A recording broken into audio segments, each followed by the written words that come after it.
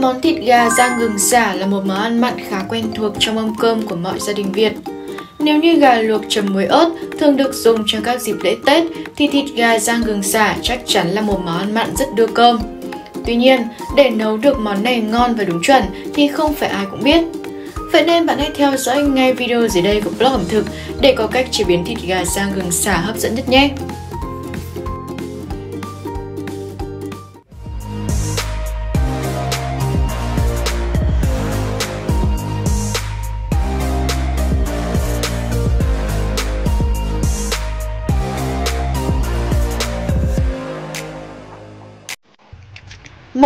Cách làm gà rang gừng xả cực hấp dẫn, thơm lừng ai ăn cũng khen. Nguyên liệu Thịt gà, gừng tươi, lá chanh, xả, ớt Gia vị thông dụng như nước mắm, dầu ăn, mì chính, bột canh, tiêu Cách làm Thịt gà mua về bạn đem đi chặt Khi chặt thịt gà cần dùng con dao thật sắc để khi chặt không bị nát, miếng thịt sẽ đẹp hơn. Lưu ý cho thịt gà to một chút để khi rang thịt sẽ teo lại. Chặt xong bạn rửa qua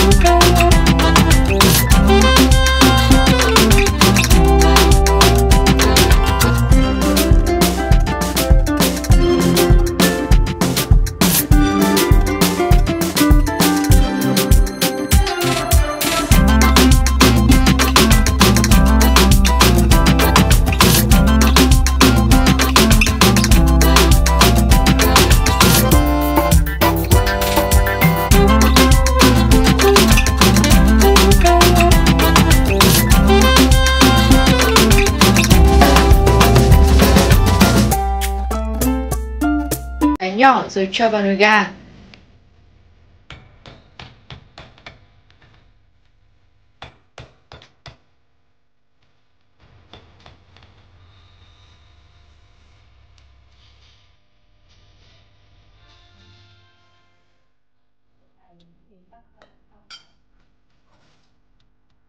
Phần đầu xả thì bạn chẻ nhỏ ra, rồi thì cũng cho vào nồi gà. Làm như vậy thì khi rang sẽ thơm hơn.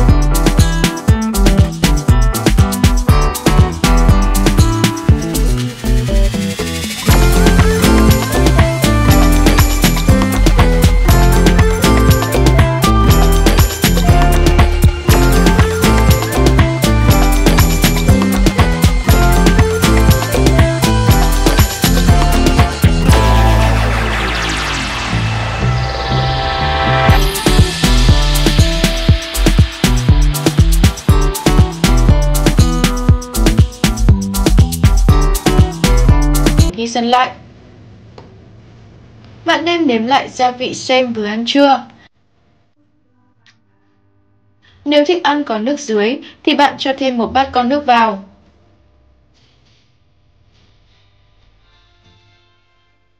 Sau đó đậy vung lại đun nhỏ lửa, đun khoảng 10 phút đến khi nước sền sệt.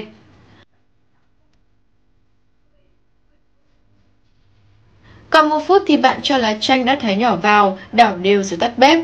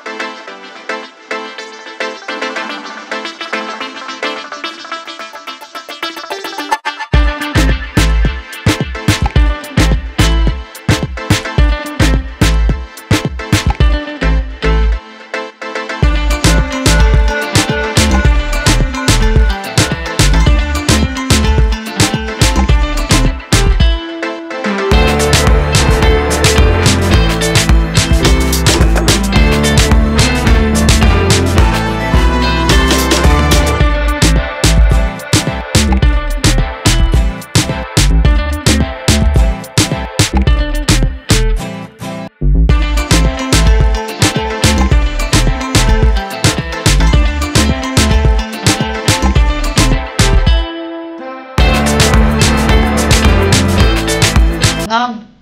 Thịt gà là nguyên liệu chính của món ăn này, vì vậy bạn nên chọn lựa thịt gà một cách cẩn thận. Dưới đây là một số gợi ý để bạn chọn được thịt gà ngon. Nên chọn những con gà có da màu vàng nhạt, mỏng và mịn. Khi nhấn nhẹ vào miếng thịt, bạn sẽ cảm nhận được độ đàn hồi và sự săn chắc của nó. Đồng thời trên da cũng không có các vệt bầm tím hay máu tụ. Tránh chọn những con gà có da màu đen sạm, vì đó có thể là dấu hiệu của gà đã chết trước khi được làm thịt. Khi nhấn vào thịt gà, nếu cảm thấy nhão, trơn và biến dạng hoặc ngửi thấy mùi lạ, hôi thì không nên mua vì có thể đó là gà đã để lâu và đang có dấu hiệu phân hủy. Ưu tiên sử dụng gà ta thay vì gà công nghiệp vì thịt gà ta thường có độ chắc, không bị bở khi nấu.